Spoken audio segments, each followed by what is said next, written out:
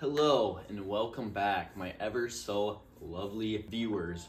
By the title of today's video, you could probably tell we're talking about today. We're gonna go through how I started out training, my evolution, my training, what I switched up, my split, yada yada yada, how much stronger did I get, all that great stuff. So basically I'm 22 now, I just turned 22 a couple months ago. I started working out when I was 19 around like the fall, like October-ish.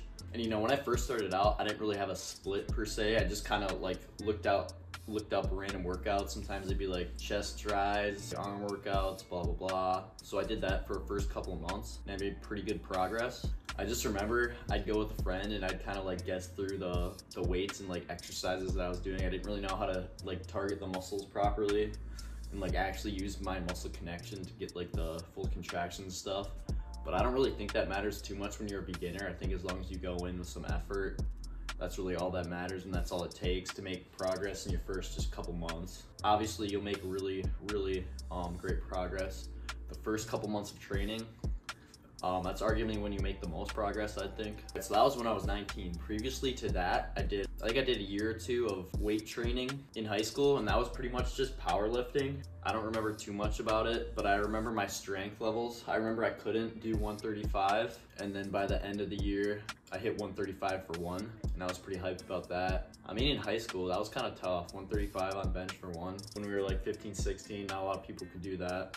Fast forward to I was 19, I was working out at just like a local commercial gym. I'd have a friend that would go with me. We'd probably work out like two or three times a week for like a couple months or whatever. Uh, I think actually just like one month. And then he eventually stopped going for whatever reasons, not sure. I was already hooked on like the progress I was making and stuff like that. And I just found it really fun because I always like physical activities. So I just kind of fell in love with like bodybuilding, you know, working out.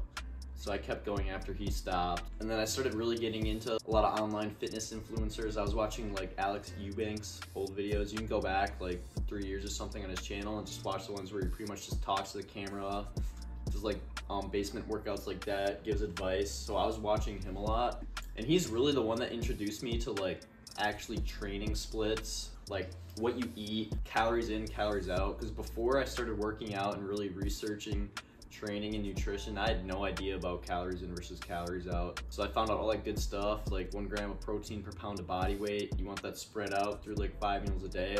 He also taught me you want like 20 sets to like 30 sets a week for total volume for each muscle group. I think he said something like that. I don't know if that's still true or not. That's what they say, but that's kind of like what I followed after that. So I started watching him like almost every night. I remember I just have like a little laptop in my bed and I'd pull up like an Alex Eubank couple videos or two before I went to bed. I just remember being really into it, really into counting calories at first too with the MyFitnessPal app. Then I started like my first actual split of like push-pull legs. So I think I had like a notes document on my phone. I think I do two exercises for chest, two for shoulders, two for tris, and that's pretty much all I did. I didn't really track my weight or my progression, but I didn't really have to. Obviously, I was just a beginner, so I was gonna get stronger no matter what. I probably could have just done the most random split. But I was going like six times a week, sometimes seven times a week to the gym.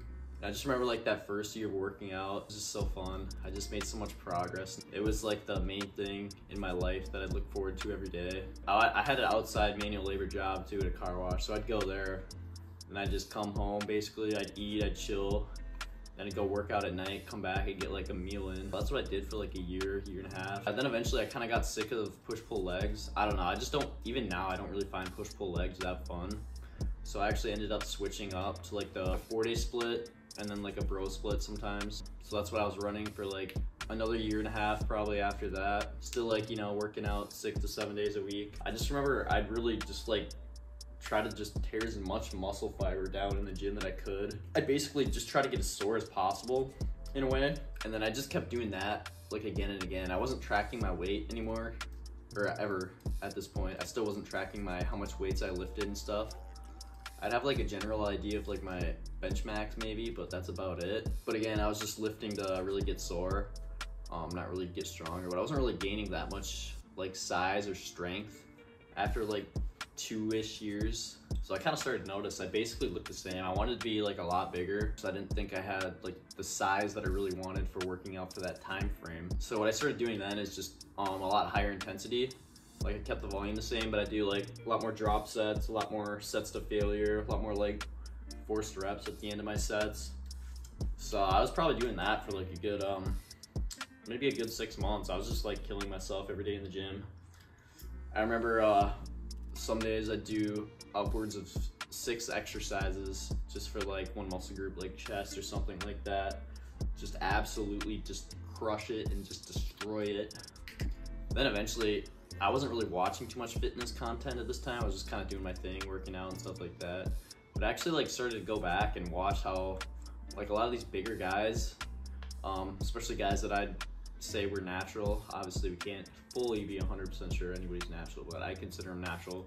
I kind of watched the way they train, and what I noticed is they wouldn't really go to failure like pretty much ever. Like they just work up and wait. And on their top set, it'd be like kind of heavy. You can see them start to slow down, and then they just like drop it. And then they move on to the next exercise. And I was like, dang, dude, you start training like that. So then that's basically how I started training. I started just working my way up in weight till I felt like pretty heavy and I could noticeably like slow down the reps and then I just pretty much just move on to the next exercise. And uh, instead of doing six plus exercises, because I was usually doing six, sometimes like seven, eight. Now I was just now I'm just doing like four, or I was just doing like four for like max volume for one muscle group. I was still doing the bro split, so I was doing like four for chest Monday, four for back Tuesday, yada yada yada. You guys know what the bro split is.